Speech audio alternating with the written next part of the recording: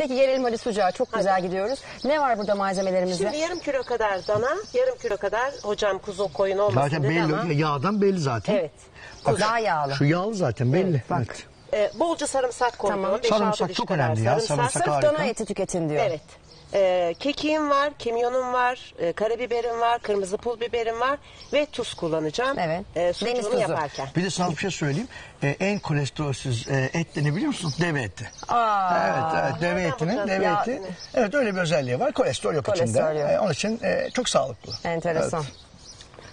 Yani o da yeniyor tabii bazı e, Yo, toplumlarda. deve eti Çok. mi? Yemedim. Ben devenin sucuğunu da yedim. Öyle mi? Evet. Neredeydiniz? Ee, şeyde bizim İncirlova'da. Oo, evet çok aynen. güzel. Daha iki şimtirak değil mi? Öyle Aynen mi? öyle daha evet asidik. Daha aynen asidik. aynen öyle. Geldik sucuğumuza. E, bilgi deposu. Bayıldım. Bayıldım. Değil mi? Bayıldım bu Gerçekten. sohbetlere ben.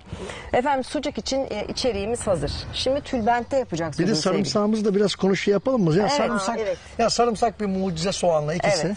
Yiyebildiği kadar ye. Bir efsane değil. Tansiyonu düşürüyor mu? Evet. Şimdi Onbaş. antibiyotik Evet. meselesi günümüzde çok fazla konuşuluyor, tartışılıyor. Artık Allah'tan ki reçeteli oldu ve eskisi gibi önüne gelen herkes eczaneden şuram ağrıyor bir antibiyotik alayım iyi geliyor denmiyor.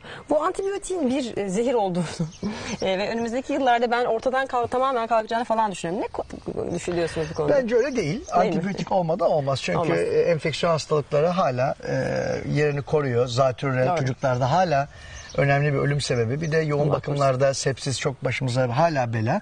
Antibiyotiksiz olmaz. Ama antibiyotikler doktor kontrolünde kullanılmalıdır. Peki.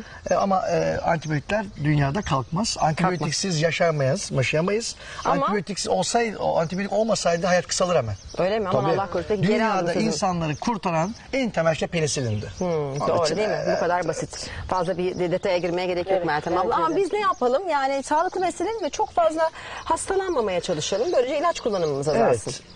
Valla e, şey çok iyi bir şey size söyleyeyim.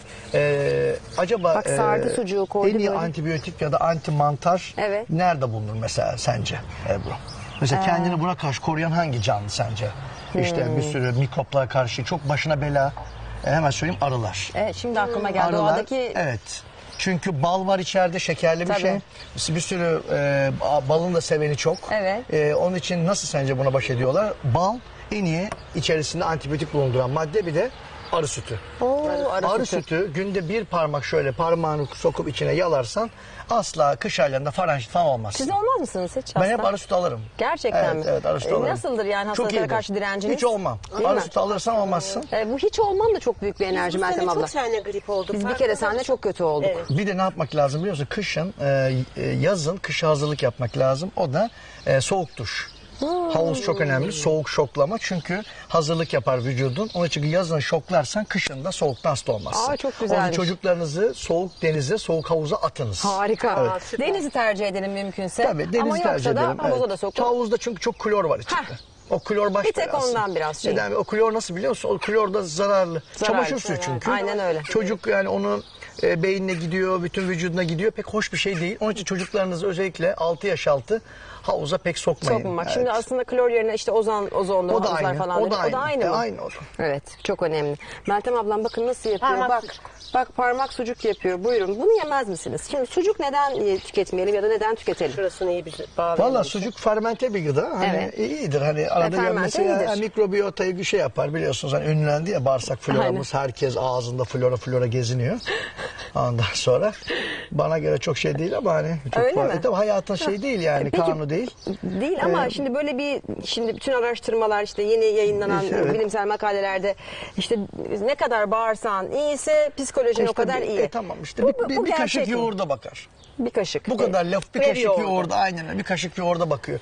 Şimdi biz bu sucuğu bugün evde tülbentle yaptık. Bunu ne kadar kurutacağız Meltem abla? E, Valla güneşte değil gölgede kurutuyorum ama sıcak bir ortamda. Ee, yaklaşık birkaç gün sonra bizde zaten kalmıyor. Ucundan bucun, bucağından yenmeye Evet. başlıyor. Ama üzerine işte çok sinek konuyor, çok arı konuyor filan dışarıda da çok tutmak doğru bir şey değil. Ben genellikle birkaç gün beklettikten sonra buzdolabına koyuyorum. Hatta uzun süre yemeyeceksek difrize koyuyorum. Çok güzel. Peki bunu bu şekilde mi yapmak lazım yoksa bağırsakta mı yapmak lazım sucuğu? İkisinde değeri aynı. Ee, bağırsak da olur, bu da olur. E, bağırsağın özelliği şudur. e, daha e, şeydir. Hani içinde bol miktarda işte lif de var. Evet.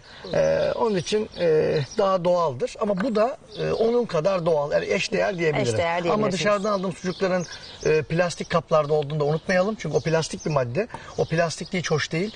E, çünkü plastik çözünüyor içinde. Bir de yaz günü şeyde çok e, tehlikeli. Sıcakta. Sıcakta sular. Ay, Şu içtiğimiz ah, pet, pet sular. şişeler. O Ha, pet şişelerdeki sular onları iç iç onların hepsi karaciğer kanseri olmuş. Allah korusun. Hele arabada Ee, araba- göğüs kanseri. evet, evet, meme Kadında kanseri, meme kanseri lenfoma, kadınlarda. evet, Allah korusun. kanseri. Hani arabada alıp koyuyorsunuz sıcak havalarda içerim sonra diyor. Plastik şişe asla koymayın. Güneşte kalmış şişe, yarım şişeleri asla tüketmeyin. Mümkünse cam şişe kullanın. Bunu da böylece Ya ben kapatmış burada oluruz. yaşasam bir 5-10 sene fazla yaşarım. Gerçekten. Ben de aynı şeyi hissediyorum.